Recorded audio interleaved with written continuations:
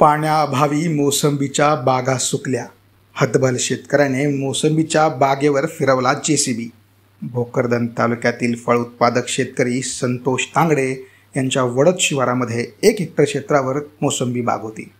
या बागेची त्यांनी मोठ्या आशेने लागवड केली. त्याचे संगोपन निगा ठेवून पालन पोषण देखील केले. या बागेत त्यांचा संपूर्ण परिवार रात्रंदिवस राब राब राबत राहिला. झाडं लहानाची मोठी केली. आता या मोसंबी बागेत झाडांना फळं लागली होती. कष्टाचं चीज होणार या आशेत शेतकरी असताना पाणी मिळत नसल्याने ही फळबाग आता सुकू लागली आहे. धरणं विहिरी आटल्यामुळे बागेला पाणी देणे कठीण झाले आहे. शेवटी या शेतकऱ्याने त्याच्या संपूर्ण एक हेक्टरवरली मोसंबी बाग जेसीबीने उपटून टाकली आहे.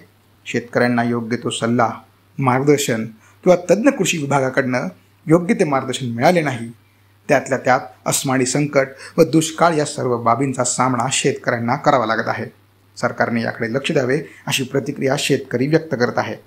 मोसंबीची मी दोन हजार एकवीसमध्ये ऑगस्टमध्ये लागवड केली होती फळबाग योजनेअंतर्गत लागवड केल्याच्यानंतर खड्डे खोदून व्यवस्थित नियोजन करून रोपाची लागवड केल्याच्यानंतर व्यवस्थित शिलगले. पण त्याच्यानंतर काय झालं दोन आता हे दोन वर्षापासून जो सतत दुष्काळ पडतो आहे आणि यावर्षी अति दुष्काळ असल्यामुळं पाण्याअभावी मला हा भाग उकडून टाकावा लागला. कारण याला आता पाणी पुरवणं शक्य नव्हतं. पा विहिरीला पाणी नसल्यामुळं मी हा बाग काढून टाकला.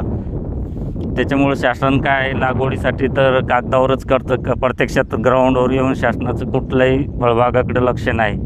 कारण आता या फळबागाला जर शासनाकडून थोडंफार मार्गदर्शन गाईडलाईन्स संबंधित कृषी विभागाकडून काही सूचना आल्या असत्या तर कदाचित आम्ही शेतकरी त्यासुद्धा उपाययोजना करायला तयार होतो. पण त्याच्याकडं कुठल्याही शासनाचा झालं एक दोन वर्षापासून फक्त रोपाचे लागवडीचे आणि खड्ड्याचे मजुरी दिली. त्याच्यानंतर त्याला कुठलं फर्टिलायझर काय काहीच नाही.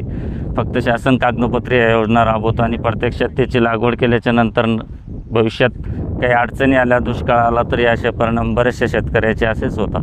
किती लागवड केली?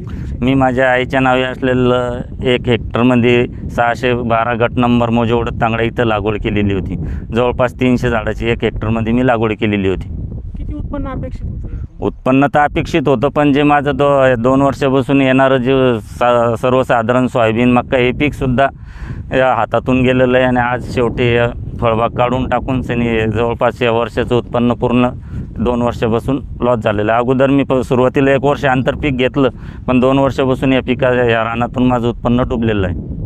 अपेक्षा आहे? शासनाने स सरळ पंचनामे करून जर काही शक्य असेल तर शेतकऱ्यांना इतर पुढच्या ला- हंगामासाठी काहीतरी नियोजनात आ, प हातभार लागेल असं काहीतरी उपाययोजना केला तर बरं होईल नाहीतर आम्ही शेवटी तो उपटून फेकलेलं आहे काय नाव आहे? माझं नाव संतोष लक्ष्मण तांगडे तालुका भोकरदन जिल्हा जालना आहे